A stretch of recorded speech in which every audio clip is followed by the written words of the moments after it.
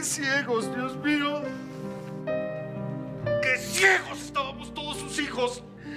Carlos Alberto, tienes que ser fuerte. Y Raquel también. Junto con Junior. Ustedes son los mayores. Tiene que darle el ejemplo a... ¿Qué más te dejaron, Virginia? Don Rodrigo dejó todo preparado. Va a ser cremado allá. Y sus cenizas no las enviarán a México. Sagrario, yo lo presentía. Perdí a mi protector, a mi padre. Y ahora tu esposo también. Sabía que se iba a morir y no quiso que nadie estuviera con él. Hay que avisarles a los muchachos, Virginia. ¡Ay, Sagrario! Me van a insultar por no haberles dicho de la enfermedad de su padre. Rodrigo lo quiso así, Virginia. Tú no tienes la culpa. Ay, ¿por qué tanto llanto? ¿Qué es lo que les pasa?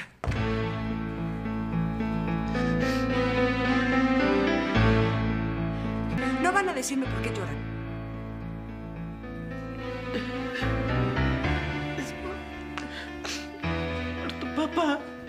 ¿Qué pasa con mi papá? Acaban de avisarle a Virginia desde Nueva York por teléfono que... Acaba de fallecer. ¡Raquel, Raquel! ¡Raquel, no! Le impresionó mucho la noticia. ¿Cuál noticia?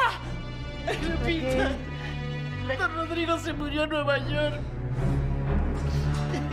¡Es verdad, Virginia! ¿Qué pasa? ¿Qué le pasa a Raquel?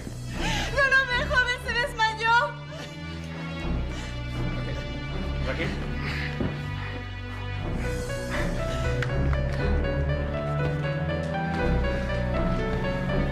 ¿Qué tiene? Raquel, ¿qué tiene? ¿Discutiste con ella? Lupita, trae un vaso con agua. Raquel, Raquel, Raquel. Llegó el momento. Y ahora es cuando debo ser fuerte.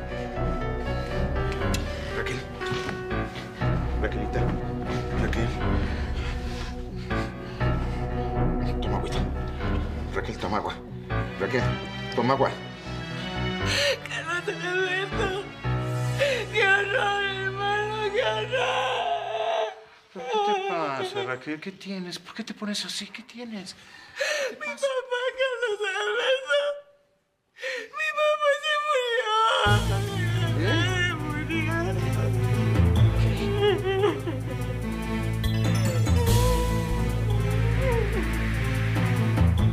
¿Muerto papá? ¿Cómo? ¿Por qué? ¿Acaso se suicidó? No sé, Carlos Alberto, no sé. Entonces, ¿quién sabe? Esa. ¿Se suicidó? No, Carlos Alberto. No se suicidó. Tu papá tenía una enfermedad incurable. Cuando se fue de aquí para Nueva York, ya sabía que estaba condenado a muerte.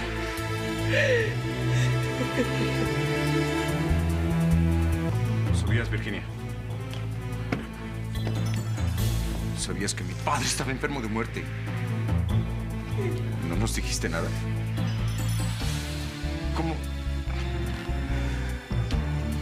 ¿Cómo pudiste ser tan infame? Él no quería que lo supieran. Me prohibió que les dijera. Sabía que tenía unos hijos frívolos y materialistas. No quiso disgustarlos con el espectáculo de su muerte. Mi papá. Mi papá querido. ¿Por qué, Dios mío? ¿Por qué? Vámonos ahora mismo a Nueva York, Raquel. Tienes que darnos dinero para los pasajes. Nos vamos a reunir con nuestro padre. Carlos Alberto, déjame que te explique. Solo a ti te hizo partícipe de su enfermedad, de sus penas, de sus angustias. Se ve que eras más hija para él que nosotros. No, no digas eso, Carlos Alberto. es que don Rodrigo siempre les dio alegrías y felicidad. Y al irse de México no quiso dejarles un triste recuerdo.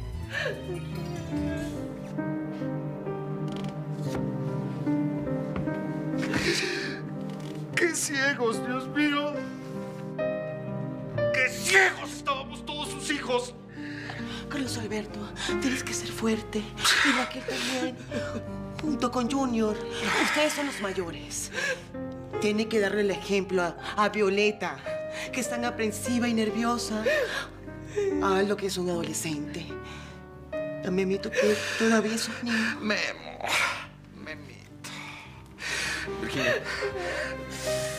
Cuéntanos todo lo que sepas. Tenemos derecho a saberlo. Nunca fuimos unos hijos ejemplares y lo sé. Pero ya habrá tiempo para llorar al mejor padre del mundo.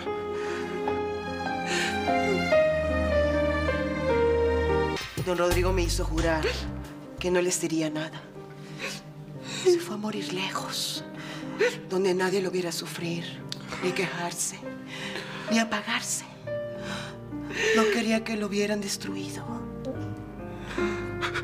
Ahora regresarán sus cenizas, solo sus cenizas.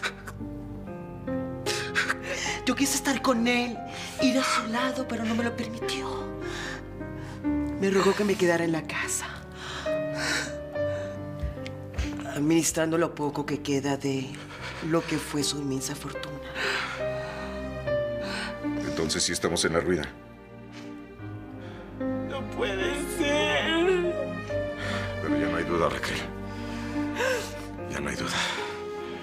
Sagrario, Sí, mi niño. que cierren todas las ventanas de la casa. Y pongan lazos negros en señal de luto. No, no. Eso no le gustaría a tu papá. No lo hagas, Carlos Alberto. Piensa cómo era él.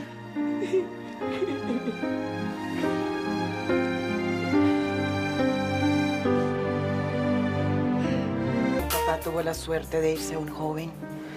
Nunca estuvo decaído ni afectado. Siempre lo vimos alegre. Todo lo que fuera dolor y tristeza le era ajeno. Violeta, no te dejes abatir. Necesitas tomar esta noticia con resignación. Antes tenía muy poco. Ahora estoy sola. Está solo el que quiere, Violeta. Eres muy joven y tienes muchas cosas para llenar tu vida. No quiero, no quiero, me voy a morir. Quiero morirme como mi papá, me quiero morir ahora mismo. Estoy sola.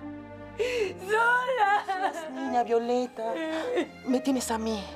Siempre te he cuidado cuando lo has necesitado. Me tienes a mí.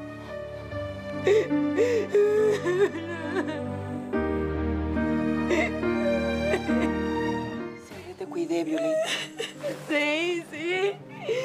Cuando te convenía para estar ante mi papá, que te preocupabas mucho por sus hijos. No seas injusta. Si algún día hice algo por ti, fue de todo corazón.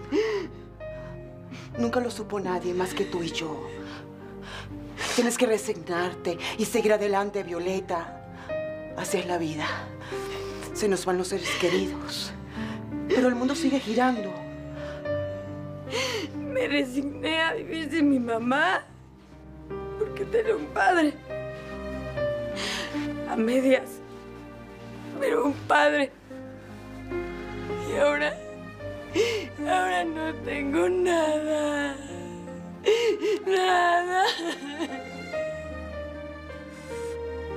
Vete, Virginia, déjame sola, me quiero morir. Déjame sola, me quiero morir. Tu papá, Junior. Tu padre. Está muerto. Murió hoy en Nueva York. Estaba muy enfermo. Y si estaba tan enfermo, ¿por qué no nos avisaron para ir junto a él? Tu papá no lo quiso. Virginia sabía esto, ¿verdad? Claro que sabía y no nos dijo nada. ¿A quién le dieron la noticia de su muerte? Le avisaron a Virginia, porque así lo dispuso don Rodrigo. Más descanse. Ella, ella, siempre ella. Le, le absorbió los cestos a mi padre. Ella hacía lo que ella quería. Lo tenía dominado en sus garras, la muy maldita. Sabía que estaba enfermo y no nos dijo nada para alejarnos de él. Para poderlo controlar con mayor facilidad. Pues eso. Virginia. Virginia en esta casa es igual que tú. Una sirvienta. Solamente una sirvienta. Pero les llegó la hora, Sagrario. Muerto mi padre. A mí me corresponde su lugar por ser el primogénito, el mayor de mis hermanos. ¿Qué quieres decir, Junior? Que ya van a ver a dónde van a ir a parar tú y ella. Ya lo van a ver. ¿Dónde está Virginia? En la recámara de Violeta dándole la triste noticia. Y, y después iba también a hablar con Memito.